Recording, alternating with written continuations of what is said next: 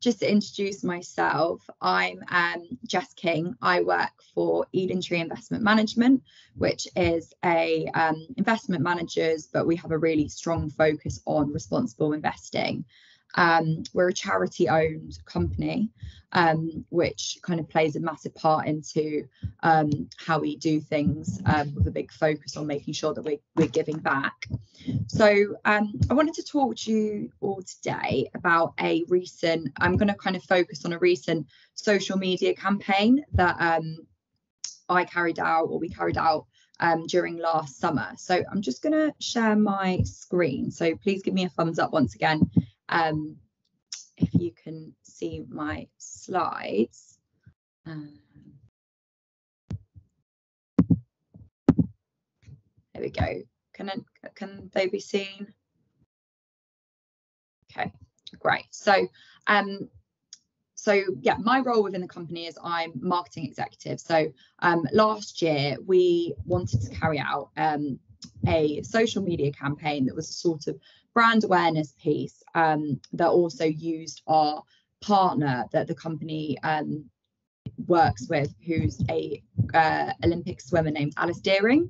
So just a bit of background: Alice is um, was the first female black long distance swimmer to swim for GB, and um, the company partners with her because our ethos is performance with principles and alice is performance with principles. She does a lot of work on um, diversity and inclusion and you know she's obviously the performance which is the swimming and the principles which is a lot of the charity work that she does. So she um, co-founded a charity called the black swimming association um, which essentially um, looks to get black and ethnic uh, and people from disadvantaged communities into swimming and and funds this. So um, we wanted to build out a, a campaign a social media based campaign that utilizes the partnership with alice um, that also can um, spread some awareness for the black swimming association the charity that she works with um, but also just kind of encourage participation and positive messages um, around swimming and and being active and getting people um, in the pool during um, the summer. So um, I'm not sure how many people have heard of a social media platform named Strava, but I'm just going to actually skip off my slides and show you the campaign page. So Strava is a social media platform, which is essentially the only one that I know that of kind of its its kind of prominence that is um, you know where you record your swimming activity you record any sort of physical activity on.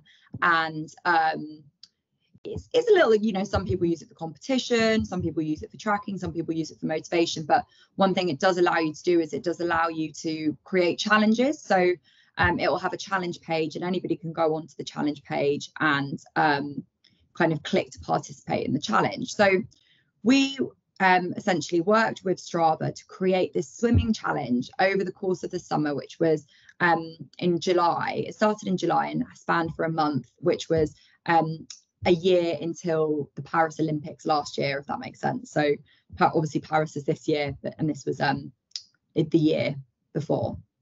Um, so yeah, motivating swimming for a great cause.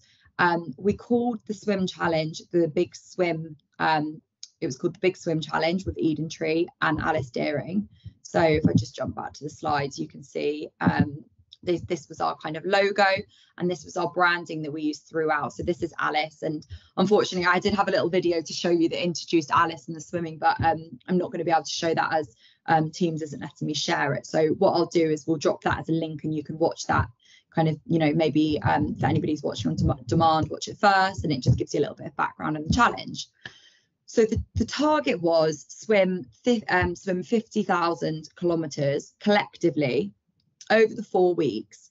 Um, and if we hit this target, it would unlock a donation um, from EdenTree to the Black Swimming Association. So what we were really asking people for was group participation. So you know that could be me swimming um, one kilometer, it could be me swimming 500 meters, but all I needed to do was to log that on Strava, the app, and collectively that made this 50,000 kilometer number. Um, so what actually happened was was amazing was that we actually had massive participation more than what we could have ever dreamt of and smashed the target of 63 um, got 63,685 kilometers over this four week period and um, because we had such good participation and we had um, and smashed the kind of the target the our parent company I, I know I mentioned before we're, we're, charity owned actually doubled the donation that we were able to give um, to the Black Swimming Association. But I just want to kind of now there's a bit of background into what the campaign was I'll just dive into the different social media platforms that, that we used and, and how we use those. Um, so you can see here as I, as I mentioned before we, we use the same branding um, kind of this image of Alice throughout um, and we launched it on Strava. So Strava was our base of the challenge and, and where we hosted it. Um, you know, without Strava, we wouldn't have been able to host the challenge. So that was kind of our staple, you know, social media platform, if you like.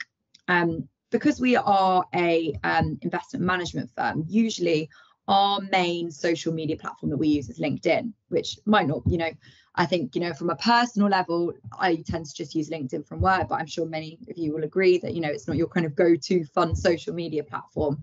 And given the nature of this campaign, um, which was more fun and was more, part, you know, big on brands and big on participation, we wanted to branch into some of the other platforms that maybe on a day to day basis wouldn't be our first point of call. So, of course, we had our Instagram, um, we used Twitter or, or X, um, we used YouTube and we used um, a platform called Teads. We also used Facebook as well, which for some reason I've forgotten to put the logo on this slide. Um, so if I just jump to the next slide, I put some numbers on on these just and I can just kind of talk through um, how we used each platform. So um, LinkedIn is obviously the hub of, of where we tend to use um, you know, it's our main platform that we use as a company at the moment. So LinkedIn was reaching out to that network that we already have, um, more or less, because you know we we all we post on here regularly and we have that community of people that we post to. So um, we posted a variety of content. Once again, I, I, plan to show a couple of these clips, but I'm not going to be able to. But we had um, we used video. So we we did to begin the campaign. We had a big video of Alice that was her introducing the campaign and what we were able to do throughout and used on social media was make these kind of this bigger video which started around 1 minute 20 into much smaller clips so like 30 second 20 second clips which we used on linkedin um, throughout the campaign. Um, we also use static posts which you can kind of see here. This was this image and this was all just to promote the campaign um, and you know encourage engagement. Um, I mean, this is, you know, just, just you can just see the numbers here that we put some pre-challenge and during challenge numbers um, on this slide, and you can and you can see um, you can see the numbers increasing. Um, likewise with Twitter, Twitter was massively successful for this campaign. Um, largely, you know, we do have a presence on Twitter. We do use Twitter already, but this was such an engaging um, an engaging campaign that you know it reached an audience that we wouldn't have maybe hit, hit into um, had it been something a bit more corporate. What was also really good about Twitter in this campaign is, is that Alice um, herself, I, I, suppose if you wanted to look at her as a sort of influencer, she has her own Twitter account and her own social media platform and presence. So she was able to, you know, reshare and repost a lot of our posts on Twitter but you can see the numbers here were just massive and we had a really high engagement um, from the content that we produced on Twitter.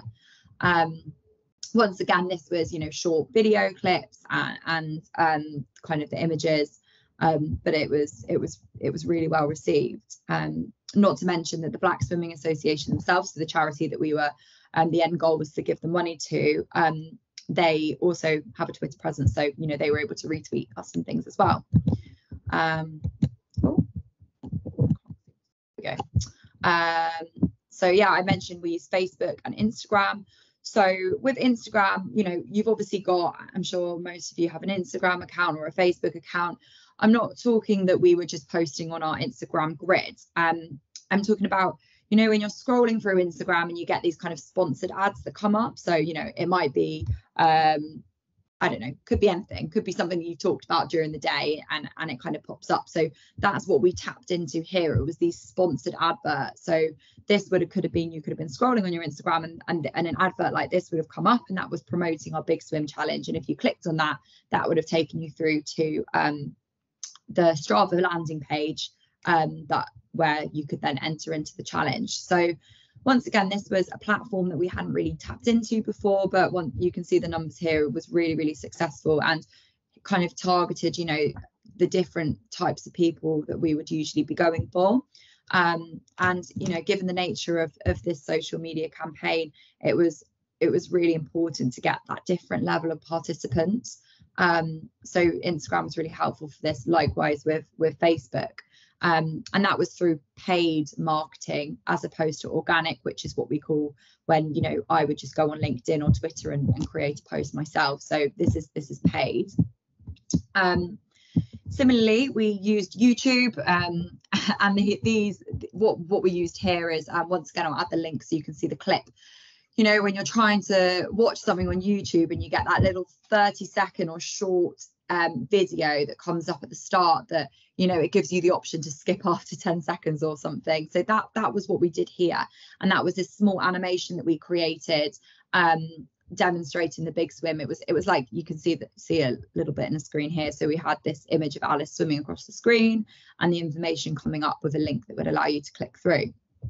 Um, so those were the platforms that we use. Similarly, Teads is very similar to how YouTube works. It flickers on at the start of videos, but it's that that's on kind of um, videos that you might find across other um, just on the web as opposed to just being on YouTube. Um, so these were all the platforms that that we used, and each had you know different elements of success. And by by using so many different platforms, you reach different audiences. So, you know, Instagram typically is going to be maybe your younger audience that who are kind of, you know, the likes of me who are sitting on an evening scrolling through Instagram and thinking, oh yeah, okay, I use Strava and actually I might go for a swim and might want to click through and do this. Whereas LinkedIn might be more your, um, you know, somebody somebody who's more professional, more corporate, scrolling through or looking through, and it might come up during their their day at work. So different audiences um, are likely to come from different platforms. And of course, you know, I use a multitude of platforms. So um, you could also see things on multiple platforms. Um, let me just, what does it seem to like this? So yeah, just back to the campaign and just kind of to talk through um, the success of using different platforms and how you can create a social media campaign is we actually had massive participation so 15,622 participants and it was global. So it went across all you know it went through we had um, a massive number of companies um, companies sorry of countries and these were the, the top ones that um, where people were engaging in it the most um, which just really goes to show the power of social media um, as we were we were you know obviously totally overwhelmed by this as well. Um, so I think what's oh let me let me go back. Yeah, so I think what's kind of key to take away here and what I just kind of wanted to emphasize is you know this was a a campaign or a, an idea that was created around wanting to donate money to charity essentially while also creating some brand awareness for the company EdenTree and also kind of leveraging, you know, doing that by using um, Alice, who is the Olympic swimmer, but I suppose, you know, in, in kind of the purpose of this, she was sort of our influencer, our figurehead. And by doing by doing that, you know, we we created a social media campaign using um, loads of different platforms to get this messaging out. You know, the messaging being um, it was get in the pool, get swimming, and kind of you know save lives which was our sort of messaging because you know the black swimming association is is providing um, lessons and educating about swimming to um, disadvantaged um, individuals. So that was the kind of you know the ethos around it. And and by having this um, by having the social media campaign it did that. It spread it spread awareness. It got people active in swimming and it and it also allowed us to give this big donation to the charity, which you know hopefully has really made a difference. Um, so I hope that was interesting. And, and if you've got any questions, please do let me know. As I said, there is a couple of um, video links that um, we can set up for you to view as attachments because I think it'd be good to kind of um, help with the understanding of the campaign. And you can see the visuals around Alice speaking and and some of the graphics that we um, the graphics that we use. But um, yes, please do let me know if you have any questions.